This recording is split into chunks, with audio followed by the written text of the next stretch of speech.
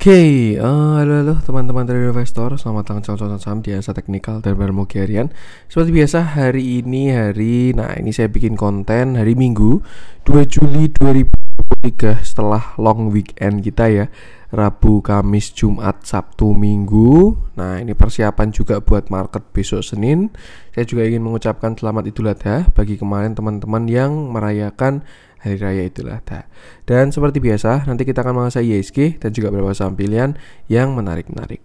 Sebelumnya, buat tonton yang mau kasih tip, support maupun donasi untuk cuan-cuan saham, bisa cari tiga klik link sosial base deskripsi, nanti bisa kasih tip, support maupun donasi untuk cuan-cuan saham, dan juga pesan pribadi untuk saya. Terus buat teman ada pertanyaan kritik atau saran, silahkan sampaikan aja, bisa via DM Instagram maupun komen YouTube. Dan insya Allah setiap pertanyaan teman-teman pasti saya jawab kalau saya ada waktu. Lanjut jangan lupa support terus channel saham dengan cara like, comment, dan subscribe karena support teman-teman gratis. Tinggal klik aja, itu sangat berarti buat konten kreator sisa ini. Jangan lupa juga nyalakan notifikasinya karena konten setiap hari dari Jojon Saham sampai Jumat tanggal seharian satu dan Minggu konten spesial. Oke, okay, uh, eh, sebelum ke analisa harian, ini ada pengumuman dulu dan hari ini adalah hari terakhir. Jadi uh, berhubung sudah mau ganti bulan, bahkan sudah ganti bulan ya, sekarang udah 2 Juli, kita akan efektif berjalan besok. Nah, bagi teman-teman yang ingin bergabung ke grup Telegram cuan-cuan saham untuk bulan Juli 2023, Teman-teman bisa simak video yang ini, pendaftaran grup Telegram CCS Juli 2023. Nah, teman-teman bisa simak infonya dan kalau misalkan mau mendaftar tinggal mengisi link Google Form yang ada di deskripsi. Ikuti langkah-langkahnya dan tinggal submit aja. Nah, invitasi eh sorry, uh, pendaftaran akan ditutup hari ini, uh, eh, 2 Juli ini terakhir ya. Akan saya buka sampai malam untuk uh, pendaftaran hari ini dan invitasi pun juga akan saya lakukan malam ini. Jadi bagi teman-teman yang kemarin uh, sudah mendaftar, silakan ditunggu dulu invitasinya. Per hari ini akan ada invitasi masuk. Kita akan efektif berjalan besok tanggal 3 Juli 2023 untuk uh, grup bulan Juli. Harapannya sih juga market Juli ISG sudah tidak sepi ya, udah selesai long weekend, udah normal, saatnya kita kembali ke transaksi normal. Tuh, jadi itu bagi teman-teman yang bergabung grup Telegram cuan-cuan saham untuk bulan Juli 2023 bisa silahkan buka YouTube cuan-cuan saham lalu simak video yang pendaftaran grup Telegram CCS Juli 2023. Teman-teman simak infonya dan kalau misalkan mau mendaftar tinggal mengisi link Google Form yang ada di deskripsi seperti itu. Terakhir adalah hari ini, hari Minggu 2 Juli ya, dan invitasi pun juga akan saya kirim per hari ini. Bagi teman-teman yang merasa sudah mendaftar tapi belum dapat invitasi, silahkan ditunggu. Hari ini akan saya mulai invite seperti itu. Oke, kita langsung masuk ke transaksi di mana kemarin uh, hari terakhir kapan? Selasa berarti ya.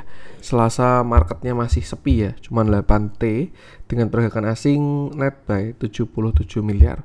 Dominan di pasar reguler 174 miliar, sedangkan di pasar nego ada net sales 96 miliar. Kita langsung masuk ke saham-saham yang dibeli asing dulu untuk kemarin Selasa. Itu yang pertama ada Bank Mandiri uh, 121M BBRI 97 miliar, ICBP 73 miliar, BBCA 48 miliar, Film 34 miliar, BBNI 27 miliar, Adaro 27 miliar, BVN 18 miliar, Unit Tractor 12 miliar, MTEK 5 miliar, ESA 5 miliar, Arto 3 miliar, SSIA 3 miliar, Inco 3 miliar, Bukalapak 3 miliar, Indosat 2 miliar, BRMS 2 miliar, NSSS 2 miliar, Dharma 2 miliar, dan HIL 1 miliar. Kita langsung masuk ke saham-saham jualan asing. Ada MDKA 32 miliar, SMGR 23 miliar, Astra 22 miliar, Akra 22 miliar, Antam 17 miliar, Goto 15 miliar, Alfamart 14 miliar, Gudang Garam 11 miliar, Cepin 11 miliar, INTP 10 miliar, MAPI 10 miliar, BRIS 9 miliar, INKP 9 miliar, Telkom 9 miliar, MNCN 8 miliar, KLPF 8 miliar, Pegas 8 miliar, Tower 7 miliar, Sido Muncul 6 miliar, NCKL 6 miliar, INDF 6 miliar, JSMR 6 miliar, Mayora 6 miliar, CTRA 4 miliar, Mitratel 3 miliar, Ultra Jaya 2 miliar, Unilever 1 miliar, dan Mika 1 miliar juga. Oke. Sekarang kita langsung masuk ke analisa teknikalnya ISG dulu di mana ini juga masih on track dengan view terakhir ya. Kemarin Selasa ISG setelah rebound di hari Senin sempat menguat tapi tidak berhasil breakout down trend line. Nah, sekarang karena belum berhasil breakout dari down trend line masih ada dua view ya. Di mana besok kita melanjutkan penguatan untuk uji resist di area 6720 itu kalau view bagusnya. Tapi kalau view jeleknya ya kita terbentuk descending triangle. Ya, ini jadinya tiga kali sampai sini. Nah, ini satu, ini dua, nah ini calon yang mau ketiga. Artinya apa? Kalau memang ini jadi descending triangle, kita bakalan breakdown area 6620 seperti itu. Nah, patokannya enak, tinggal gunakan dua titik tadi aja. Kalau misalkan break dari 6690 atau 6700 lah. Kalau break 6700, maka dia bakal uji resist 6720 dan kalau break yang 6720 baru saya rasa bakalan cakep market ini. Cuman kalau misalkan dia besok kembali melemah, uji support 6620 dan dia jebol di sana maka kita akan kembali ke support sideways-nya 6567. Nah, satu hal yang perlu kita perhatikan beberapa waktu kemarin ya kita selalu transaksinya kecil-kecil itu memang rawan false break. Ibarat kayak pergerakan saham kalau volumenya kecil juga dia rawan false, false break juga kan. Naik volume kecil, turun volume kecil, udah jebol support naik lagi dan seterusnya. Nah, harapannya sih saya cuma berharap besok Senin karena sudah selesai long weekend ya, market kembali normal market kembali normal, transaksinya juga mulai bergairah dan ya sudah mulai spreadnya cakep-cakep lagi seperti itu. Untuk sekarang perhatikan area tadi aja dan jangan lupa selalu batasi resiko seperti itu. Oke, kita akan langsung masuk ke beberapa saham pilihan. Saya pengen mulai dari yang dijualin asing dulu aja. Saya pengen coba cek dari si uh, Akra aja deh 4% MDK kemarin sudah kita bahas ya dan sepertinya masih on track. Jadi kita biarkan dulu aja. Oke kita bahas Akra ini tanggal 27 tanggal 27 pas. Oke. Uh, kemarin kemarin Selasa Kemarin Selasa, Akra turun 4,7 persen, candlenya cukup kuat, volumenya pun juga besar, dan ini masih on track dengan view terakhir ya. Di mana kalau teman-teman mengikuti cuan-cuan saham, kita pernah bahas Akra ketika di sini nih, tanggal 6, 6 Juni ya, 6 Juni atau 7 Juni saya lupa. Konten pada saat itu saya bilang dia ada reversal cup and handle. Targetnya adalah area pullback 1510 sampai 1575. Dan kemarin dia beberapa waktu reject di area tersebut satu kali, dua kali, tiga kali dan akhirnya dia melemah. Ini masih sangat on track untuk si Akra ini dan tinggal masih updatean view aja seperti itu. Nah, untuk sekarang sisi bagusnya Akra berhenti di area support ya 1400 sampai 1380 ini kan ada support dari si Akra. Sebenarnya selama tidak jebol area tersebut masih ada view bagus. Siapa tahu dia mau resisten become support lalu naik lagi itu bakalan cakep. Tapi kalau misalkan besok Akra melanjutkan pelemahan jebol area 1385 maka next supportnya ada di sekitar 1350 seperti itu. Kalau 1350 nya jebol, lah supportnya 1280. Dan kalau misalkan 1280 nya jebol, baru saya rasa Akra bakalan valid reversal seperti itu. Karena yang sebelumnya di uptrend, dia stop masih ada higher high sih, tapi udah divergent ini harusnya. Harga ke atas indikator ke bawah eh, dan dia mulai memiliki lower high dan juga lower low kalau jebol 1280 seperti itu. Jadi memang ya yang penting sama selalu batasi resiko aja gunakan area-area tadi. Untuk sekarang kalau dilihat dari volume dan candlenya sih agak kurang enak memang. Cuma ya biarkan market yang mengkonfirmasi. Nah, price actionnya jelek, transaksinya pun auto jelek. Kemarin Selasa uh, distribusi distribusinya masif ya. Small normal, big normal lengkap dari broker-broker ini. Jadi ya kurang oke untuk Akra sekarang amannya wait and see dulu ketika dia ada bottom seperti itu. Dan yang penting sama selalu batasi resiko. Seremnya ini pullback doang untuk turun lebih dalam. Itu untuk Akra, saya lanjutkan. Saya pengen update view-nya Goto. Lama nggak kita bahas ya si Goto ini.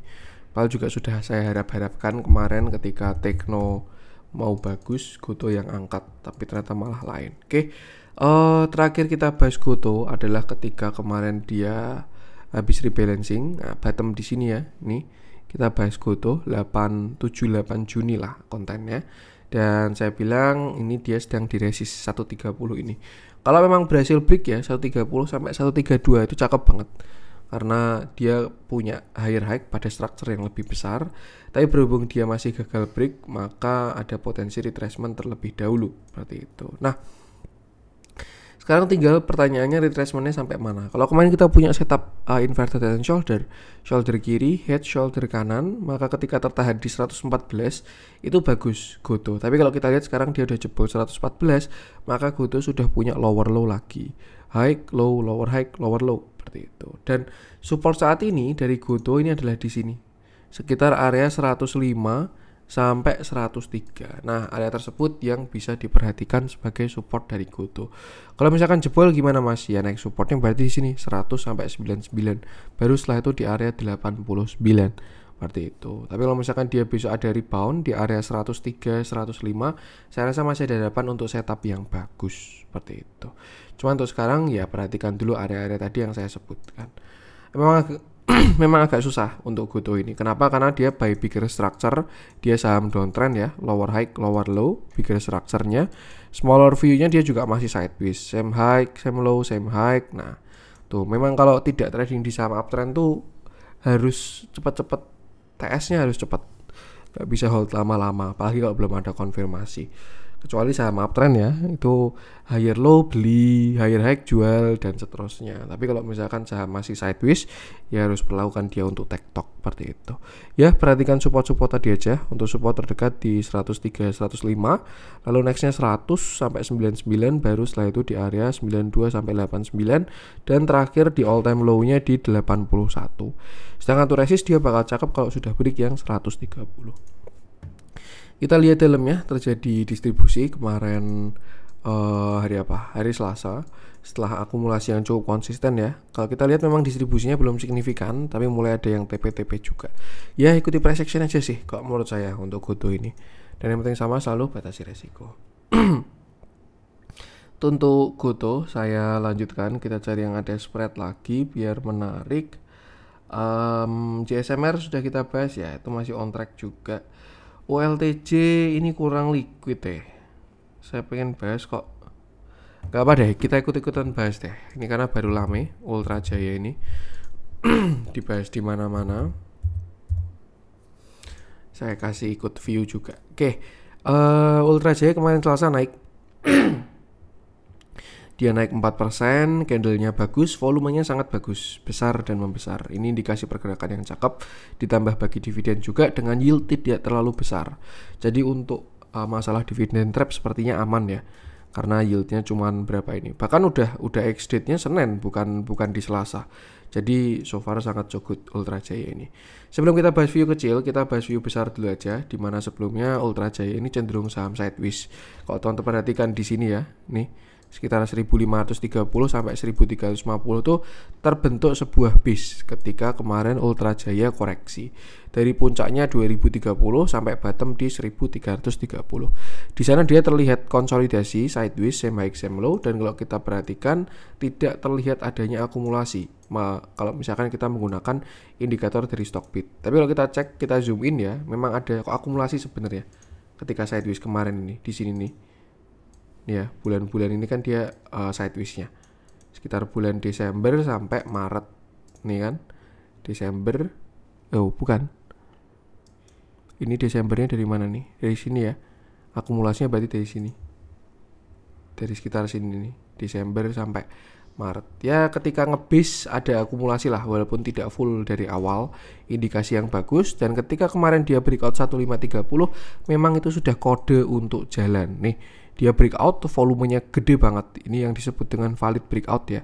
Breakout volumenya besar dan membesar lalu ketika retest sudah reject volumenya pun kecil. Dan setelah itu apa? Setelah sideways terbitlah bullish. Dia naik sampai 1955 dan sekarang kira-kira bisa naik sampai mana mas? Nah untuk saat ini Ultra Jaya kalau kita mau cari target ke atasnya kita pakai view besar dulu di mana Ultra Jaya ini sebenarnya juga masih saham uptrend. Jadi nggak ada masalah sama sekali sebenarnya dengan pergerakannya. Memang uh, yang namanya saham uptrend bisa gerak kayak gitu seperti itu.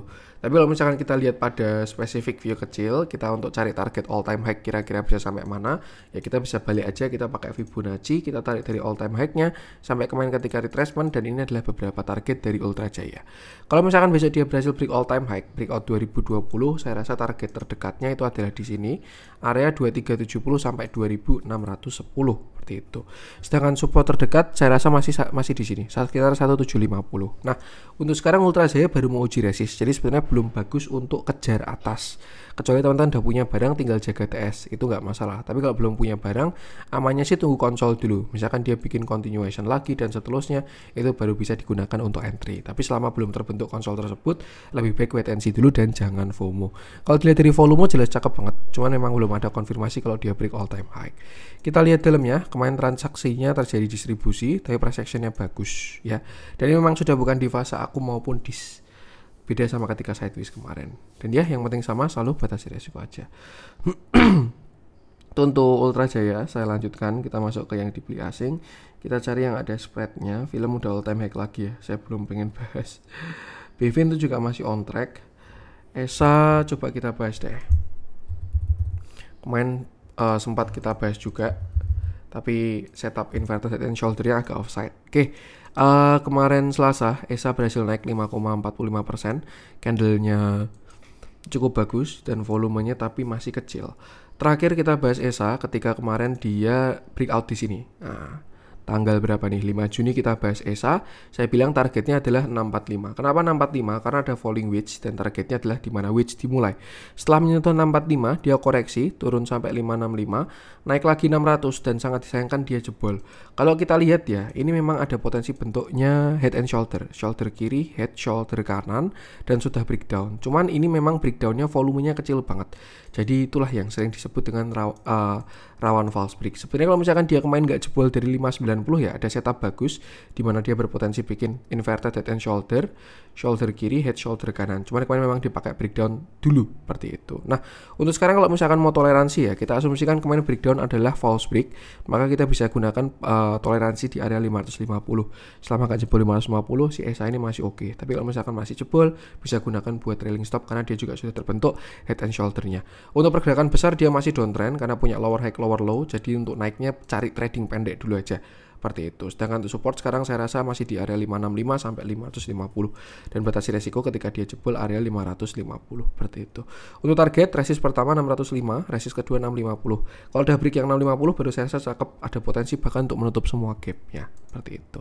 Kita lihat transaksinya kemarin Selasa bagus ya ini terjadi akumulasi walaupun tidak terlalu konsisten sama ikuti price action aja dan jangan lupa selalu batasi resiko Tuntu ESA saya lanjutkan. Saya pengen coba cek si uh, kita masuk ke yang merah-merah.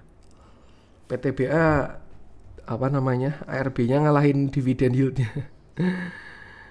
Trapnya jadi rugi itu. Hmm sepertinya kurang ada yang menarik di yang merah-merah.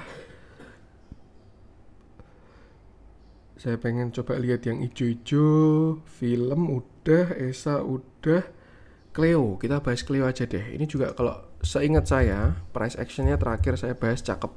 Salah satu menu juga di grup cuan-cuan saham oleh tim dari CCS. Nah, kita bahas Cleo, di mana kemarin Selasa Cleo naik, dia naik 5,22 persen. Candlenya sih cukup menarik dan volumenya juga cukup bagus. Ada penguatan dari volume si Cleo. Terakhir dia bottom di area 440, sempat sideways dan membentuk ascending triangle di sini. Ya. Satu, dua, tiga. Breakout volumenya tidak belum terlalu besar dan naik sampai area pullback. Di sana dia reject satu kali, turun sampai 549 sampai 500 tapi tidak jebol support, tidak ada breakdown structure ya. Dan kembali rebound dan terakhir membentuk cup and handle cup and handle seperti itu. Sebenarnya untuk sekarang ya, ini simpelnya tinggal kita perhatikan aja 630. Kalau Cleo Brick yang 630 saya rasa bakal cakep banget karena selain dia higher high pada structure yang lebih besar, dia punya cup and handle pada structure yang lebih besar, dia juga breakout dari area pullbacknya seperti itu. Nah, kalau misalkan dia break 630 targetnya ke mana mas? Yang jelas 685 dulu sesuai dengan uh, Fibonacci-nya, lalu 775. Kalau break yang 775 baru targetnya 960 sampai 1095 seperti itu. Nah, untuk support masih di area neckline itu sekitar 580 sampai 575. Jadi jangan FOMO karena dia baru mau uji resist seperti itu.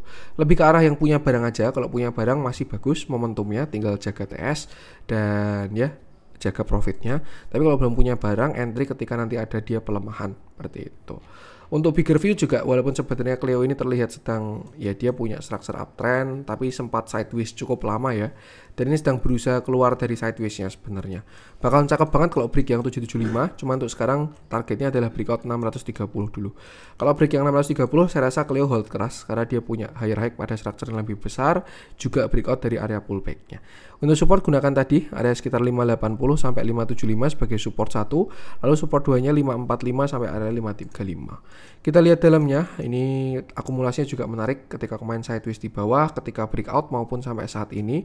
Kalau kita lihat dia cukup relevan sama EMA 50, bisa gunakan area tersebut sebagai trailing stop untuk saat ini seperti itu. Dan yang penting sama selalu batasi resiko aja. Oke ini untuk konten kemarin Selasa untuk konten hari ini juga. Semoga bermanfaat. Mohon maaf ada kurang ide saya. Jangan lupa support terus channel Sosam dengan cara like, comment, dan subscribe. Karena support itu gratis tapi sangat berarti buat konten kreator seperti ini Uh, bagi yang pengen bergabung grup telegram Concon Saham tinggal simak video di awal juga dan tinggal uh, submit lalu menunggu invitasi. Itu dari saya, semoga bermanfaat. Uh, salam cuan.